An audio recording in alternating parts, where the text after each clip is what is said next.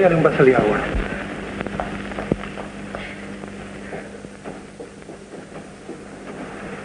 Señorita, perdone si la molestamos. Necesitamos unos datos sobre... Por favor, señores, no insistan. Comprenda la situación. Se trata de unas palabras. Les ruego que la dejen tranquila. La pobre está como loca.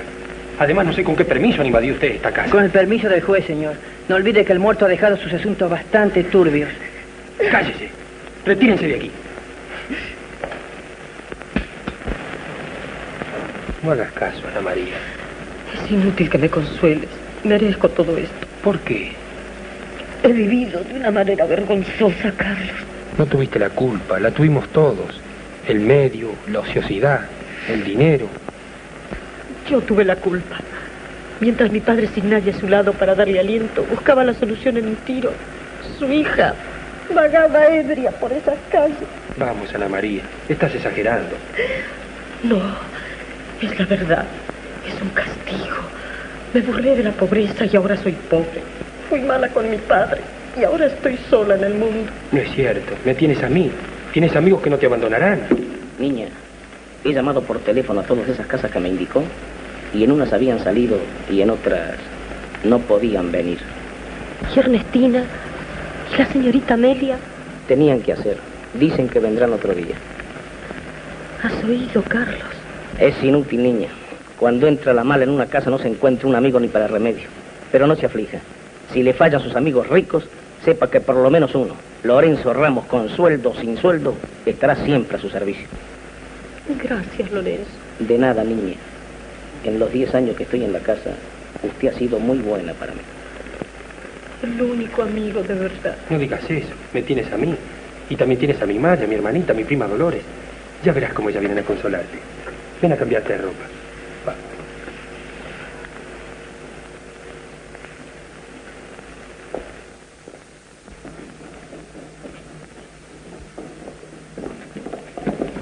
Un momento, señora. No se puede pasar. Somos parientas del muerto. Es orden del señor juez. ¿Has visto, mamá? Juez y todo. Yo lo sabía hace tiempo por Poroto Roca. Estaban fundidos completamente. Pero tu hermano es un inconsciente. ¿Cómo seguían los viejos? Es que ella no sabía nada. El padre le ocultaba todo. Lo sabía. ¿Quién nos asegura que no se callaba por no asustar a Carlos? Tienes razón. Siempre me pareció una gran hipócrita. Pero si aquí está. ¿Cómo te va, querida?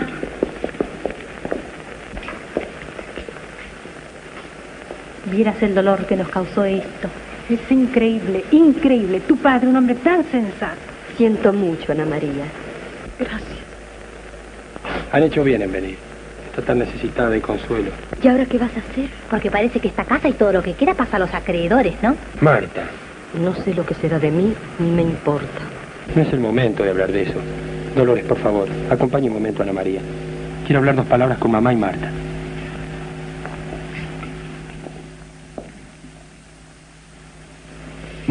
Hay que sacar a esta muchacha de aquí inmediatamente. ¿Dónde la vas a A llevar? nuestra casa. ¿Estás loco, Carlos? ¿Pero qué dices? No tiene parientes. La echan de aquí. Va a enloquecer si la dejamos sola. De todos modos voy a casarme con ella el mes que viene. Eso nunca. No puede ser. La mancha de su apellido caería sobre el nuestro. No olvides que soy tu hermana y he de casarme algún día. No lo permitiré jamás. Mamá, parece mentira que hablen así ustedes que son de mi misma sangre. Pero no vale la pena discutir. Al no existir mi padre, soy el jefe de la familia.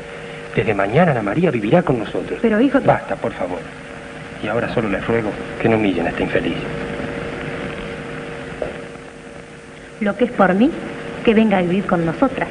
Pienso darle tanta importancia como a la gobernanta de casa.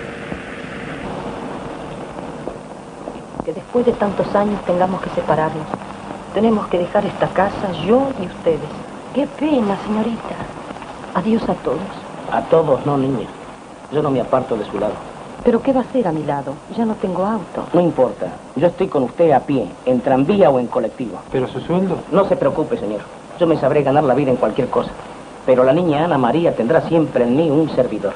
Un servidor no, un amigo, Lorenzo.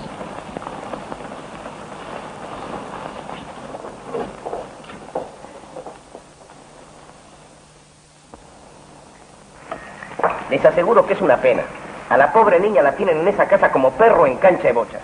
Seré curiosa. ¿Y usted cómo lo sabe? Por lo que me cuenta la servidumbre, la madre y la hermana de él son tan orgullosas. ¿Y por qué no se va de esa casa? ¿A dónde va a ir la pobre? ¿Cómo a dónde? ¿A trabajar? ¿Cómo quiere que trabaje la niña Ana María si nunca ha hecho nada? Yo tampoco nunca había hecho nada cuando vine de mi pueblo. Ni yo. Ustedes es diferente. Ella es una dama, ¿comprenden? Además va a casarse pronto con el niño Carlos. ¿Usted que se casará? ¿Qué quieren que les diga? La madre está empeñada en casarlo con su prima. Y es una vieja tan testaruda. Uy, parece una novela. No, es como una película que vimos anoche en el cine La Vuelta a Casa. Resulta de que es de pobre, ¿no? Y el padre del muchacho tiene una gran fábrica de banco. ¿Cómo, cómo? Yo vi esa cinta. El padre es un gran banquero. Bueno, nena misma. No, mija, un banquero es un financista. ¿Lo que es?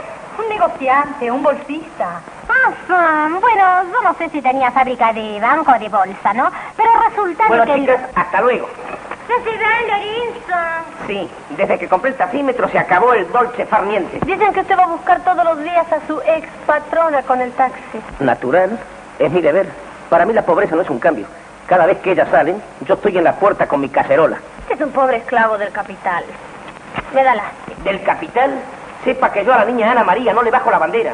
Yo la sirvo Me gratis. da más lástima entonces. ¿Qué opinan ustedes? ¿Hago bien o hago mal? Hace muy bien. Y Dios se lo va a pagar cuando se muera, ¿cierto? Claro que sí. Hace muy bien.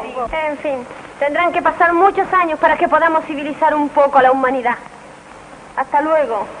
Crumiros. ¿Lo qué? ¿Qué dijo esta?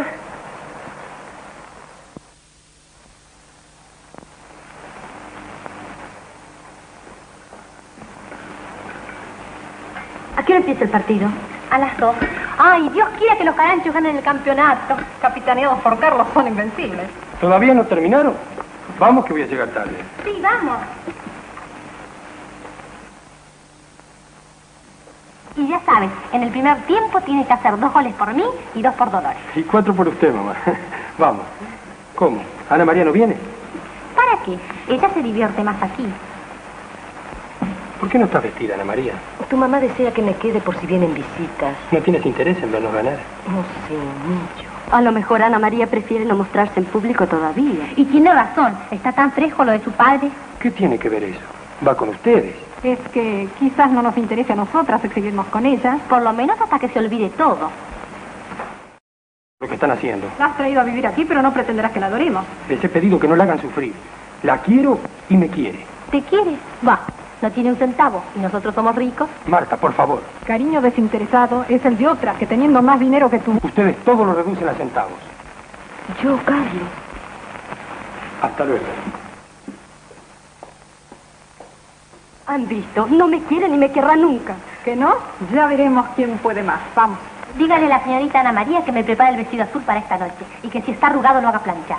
Si con estas cosas no se va es que se ha acabado la vergüenza.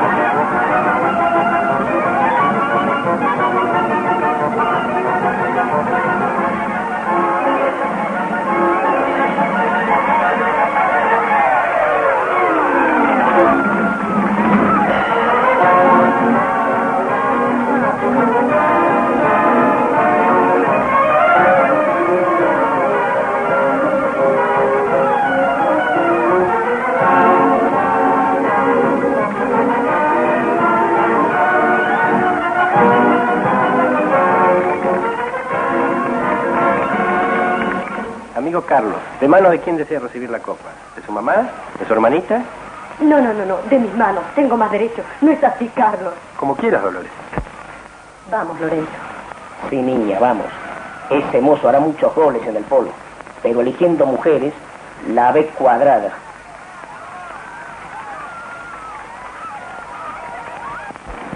Como le digo, niña, esto debe terminar. Dele una lección a esa gente. ¿Pero qué hago? Estoy tan desorientada. Por lo pronto debe mudarse de esa casa hoy mismo. Mudarme.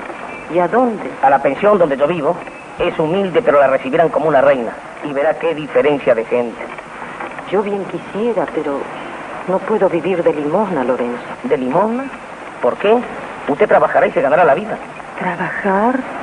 Si yo no sé hacer nada. No importa, a golpe se aprende a vivir. Ahora mismo agarra una valija y se viene conmigo a la pensión. Pero, ¿y Carlos? Yo sé que en el fondo me quiere. Bueno, si la quiere en el fondo, que saque el cariño a la superficie. Que venga a buscarla si la necesita de verdad.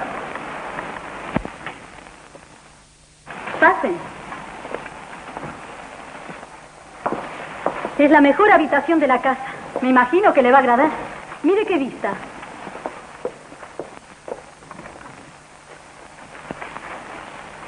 Sí, está bien. La casa es decentísima. Las chicas son todas trabajadoras y honradas. El único hombre aquí es don Lorenzo, pero es igual que una mujer. Señora, por favor. Me refiero a la decencia. Ah. Y ya sabe, señorita, no doy almuerzo. Cena nada más. El desayuno es a las 8. Como las chicas empiezan en la tienda a las 9, en cuanto a... Bueno, yo le explicaré lo demás. Hasta luego, señora. Hasta ¿eh? luego. A la hora de cenar conocerá a las chicas. Ah, don Lorenzo. ¿Qué? Esta noche Catita va al cine con Clara y la hemos invitado a cenar aquí. ¿Ah, sí? Bueno, adiós, señora. adiós, hasta luego.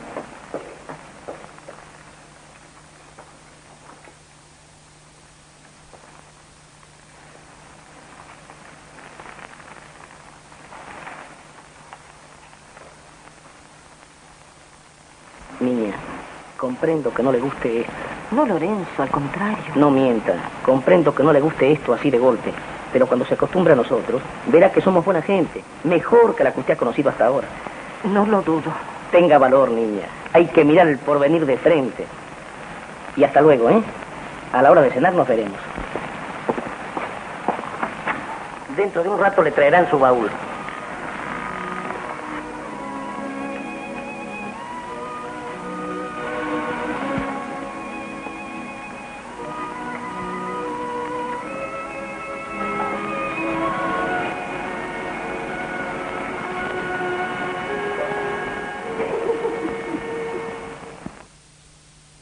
Gracias. Qué suerte, chica. Hoy vamos a conocer a la patrona de Lorenzo. ¿Por qué tardará tanto? ¿Qué estará diciendo de Suárez? No se burlen, tiene cara de ser una santa, pobre. Yo creo a lo menos de que Lorenzo bien podía dejarla vestir sola, porque a fin del cabo... Les presento a la señorita Ana María, chicas. Una compañera desde hoy. Buenas noches. Buenas noches. Adelante. Ese es su sitio, señorita. Siéntese, Lorenzo.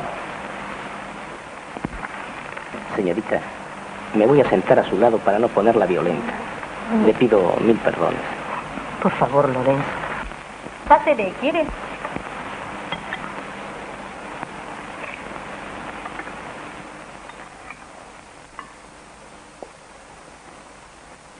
Yo conozco esa cara. Alguna clienta de la tienda.